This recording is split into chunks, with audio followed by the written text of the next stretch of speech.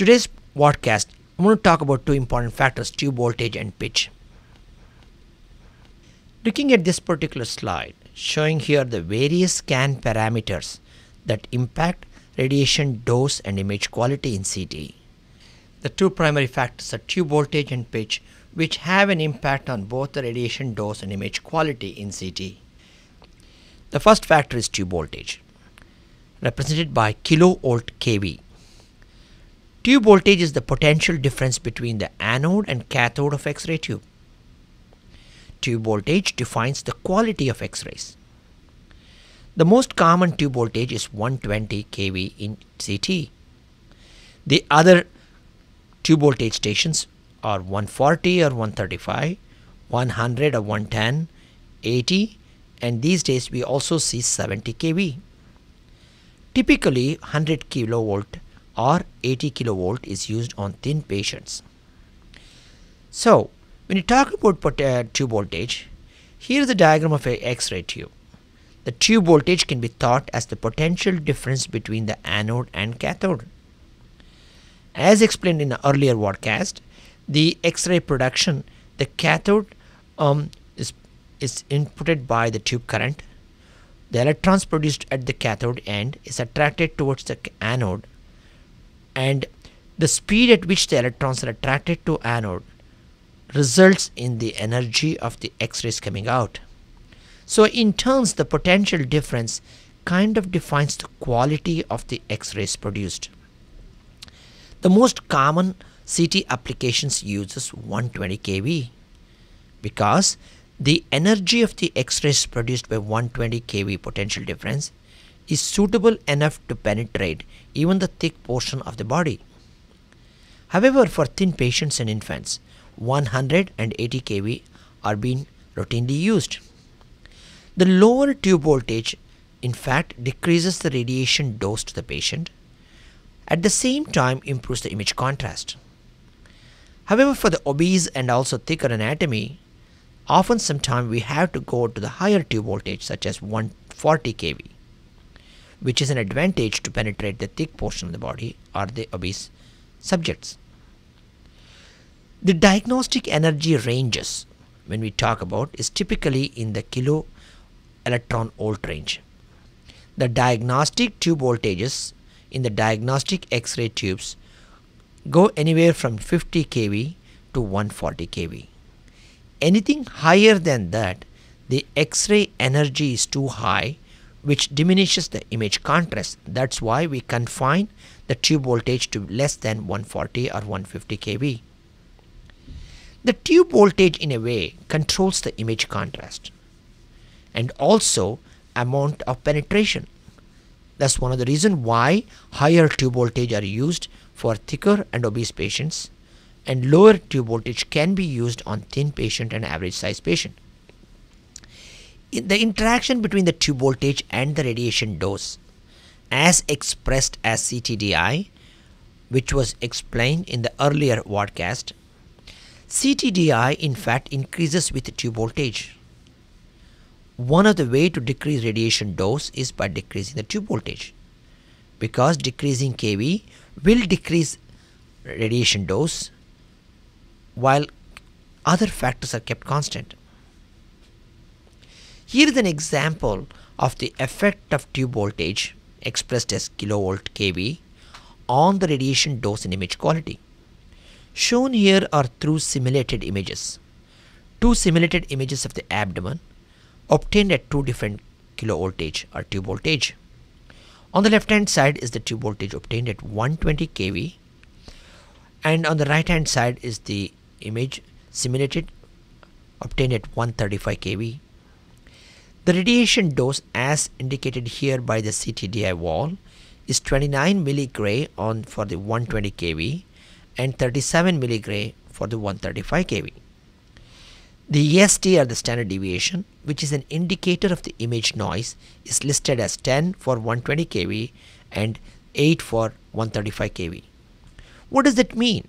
What it basically means is like a small change in tube voltage can lead to a larger change in the radiation dose to the subject.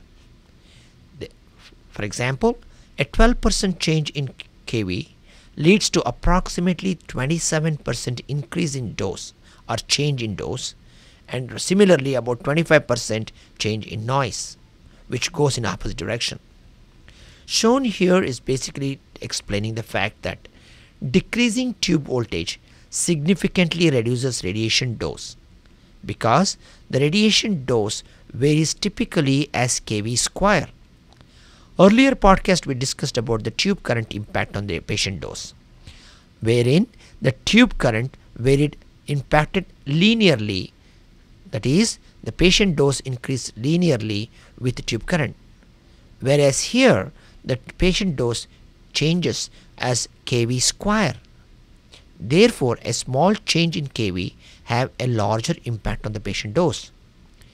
Shown here an example of the um, an effective dose estimation obtained at different tube voltage. By going from 120 kV to 100 kV, there is a large decrease in the patient dose. So the take home message is decreasing kV has an impact on reducing radiation dose. The impact of tube voltage uh, and its change on the CTDI is explained in this particular table. This is based on the measurement using the phantoms. On the third second column is the CTDIvol using head CT phantom, the smaller phantom, and on the fourth column is the CTDIvol for the body phantom. What I try to demonstrate here is the most common tube voltage used in CT is 120. So the tube voltage if it's changed from 120 to 100 keeping all other factors same which means the MAS and the way the detector setup is all same in that case by simply changing the tube voltage from 120 to 100 there is actually a decrease of 36% dose for a head CT phantom. For a body CT phantom, there is a change of nearly 30%. So the bottom line here is like going do- change in the tube voltage, going lower in the tube voltage has a remarkable impact on the patient dose. So from 120 to 1 uh, just 80 tube voltage for a body body protocol the radiation dose can go down almost 67%. Similarly, if we go on a higher tube voltage from 120 to 140, for a head phantom, the change was increase of 44% increase and the body phantom it was about 67%. What it basically tells is like there is a paradigm shift now in the CT protocol. Historically, we were only doing all the protocols at 120 kV. Now, with this paradigm shift, we are now doing um, for a pediatric patient and for a small adults, one can decrease the tube voltage and thereby gain the advantage of decreasing the radiation dose to the patient. In fact, that is one of the dose optimization strategies employed for optimizing the radiation dose in CT. The tube voltage modulation can be understood as follows. Unlike tube current modulation, tube voltage modulation is not done automatically by the scanner. The user can select tube voltage based on the patient demographic sizes and so forth. For example, because lower tube voltage improves image contrast and reduces the dose. However, if you decrease the tube voltage too much, one has to have increased tube current to maintain image noise. One of the advantage of using low tube voltage is the following. Especially for studies utilizing iodine contrast, the image contrast increases with use of low tube voltage because the K edge of iodine is about 32 kilo electron volt keV and lower tube voltage enhances this iodine contrast for because here are given different tube voltage and respective average photon energy of the X-ray beam. Therefore, going from 120 to 100 or 80, it's more the the photon beam energy is more closer to the K edge of the iodine. Thereby, it enhances the iodine contrast in the image. Here is an example or a graphical description of what the advantage of going into lower tube voltage. Explained on the left hand side is the iodine contrast to noise ratio. That's one of the figure of merit we measure the contrast in an image. When a protocol involves iodine, the contrast noise ratio is measured. Shown here is compared to a 120 tube voltage, which is what the historically most CT protocols were done at. So from 120 tube voltage, if we decrease the tube voltage to 100, the iodine contrast to noise ratio will increase from 15 to 20 for a small size patient and slightly increase from approximately um, 8 or 9 to 10 in a medium sized patient and for a large patient it remains the same. The iodine to contrast noise ratio increases even further if you go down in tube voltage to 80. At the same time, shown on the right hand side is the relative radiation dose to match the iodine contrast noise ratio. So for normalizing at 120 kV, if we decrease the tube voltage to 100, the radiation dose will decrease from almost 40%. If we go down to 80 kV, the radiation dose will decrease to almost 50, 50 to 60% for a small size patient and, and about 40% for a medium sized patient and so forth. So the take home message is going low on the tube voltage on small and medium patient it's a double advantage because it not only increases the iodine to contrast noise ratio but it also decreases the radiation dose to the patient and that's one of the reason why it's highly advocated to use lower tube voltage for thin and average size patient. Here's a study, a clinical study done um, showing the influence of tube voltage on the CT angiography dose. This study involved patients having done at 100 kV and 120 kV clearly demonstrates the radiation dose decreases with lower tube voltage even though the image quality score remained the same. Therefore, for a thin and small patients and also average size patient, going down in the kV from, from the use standard use of 120 have an advantage of decreasing the radiation dose to the patient. This is especially important when performing CT perfusion dose. Shown on this busy slide, the uh, dose report for a CT perfusion study, want to draw your attention to the type of tube voltage needed for CT perfusion study. Shown here is as a dynamic multi-scan study. It is done at 80 kV and that the reason is like if we do it a higher tube voltage that can result in a very high dose and even cause injury to the patient. Especially for dynamic study, it is important to make sure that the protocol is done at the lowest tube voltage available like 80 kV. The second factor which I want to talk today is pitch. This is applicable to helical CT scan only. The pitch is defined as a ratio of the table travel per gantry rotation to, to total X-ray beam width. Initially when the multi-detector CT were introduced, there are two types of pitch, beam pitch and detector pitch. Beam pitch was defined as the table travel per gantry rotation to the total X-ray beam width, whereas the detector pitch was defined as the table travel per gantry rotation to the individual channel width. So the beam width is basically detector pitch divided by the number of dash channel. Shown in this slide on the left hand side is the definition of pitch applicable to single row detector system which is hardly available these days and on the right hand side is the definition of pitch as applicable to the multi-detector pitch.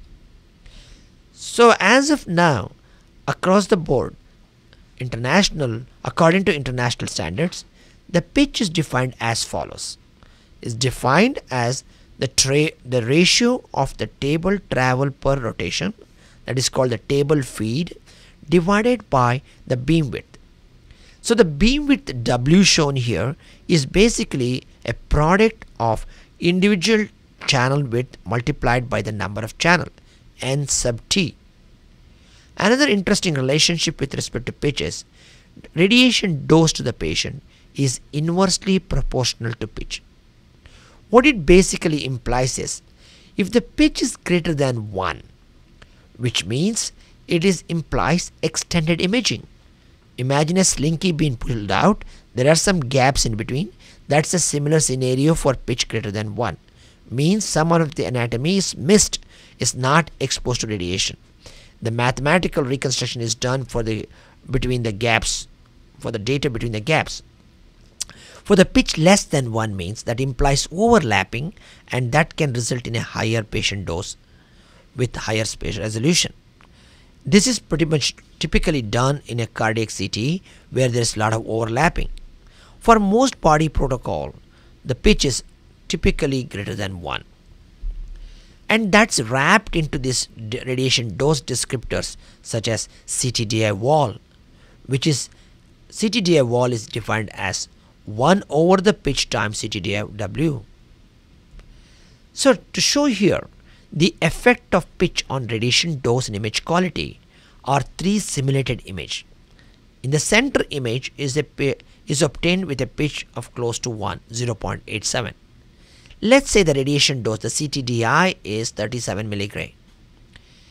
On the on the left hand top corner is the image obtained with a pitch of 0.64 which means there is a lot of overlap resulting in a CTDI of 47.8 milligray which almost indicates about 30% higher dose. On the bottom right is the simulated image obtained with a pitch of 1.5 that results in a TTI value of 21 milligray which is approximately 45% lower. So the take home message is higher the pitch value lower the dose and lower the pitch value higher the dose because of the issue of overlapping of the tissue. The pitch affects total scan time. It also affects the radiation dose to the patient and it can impact the noise and the resolution. Shown here are the low contrast resolution phantom used for evaluating contrast resolution in CT. They were scanned a different technique. On the middle image is obtained with a pitch of 0.562. Compare that to the image obtained with a pitch of 1.375. Even though the radiation dose is lower, there is a loss in the contrast resolution compared to the central one. That's where the trade-off occurs between the different pitch value. Along with the pitch concept, there is a concept called effective MAS, which is which is used in certain CT scanners. That's a Siemens and Philips. They use a concept called effective MAS because where they define effective MAS as a ratio of the MAS divided by pitch. Basically this concept was based on maintaining the image quality independent of the pitch setting. So the scanner will automatically change the MAS based on the pitch value to keep the MA, effective MAS constant. So in conclusion, the tube voltage affects both the image contrast and patient dose. Pitch affects the patient dose and also the total scan time. Understanding trade-off between tube voltage and pitch with regard to image contrast and patient dose are key for optical imaging. Let me stop here. We can continue on the third factor slice thickness in the next broadcast.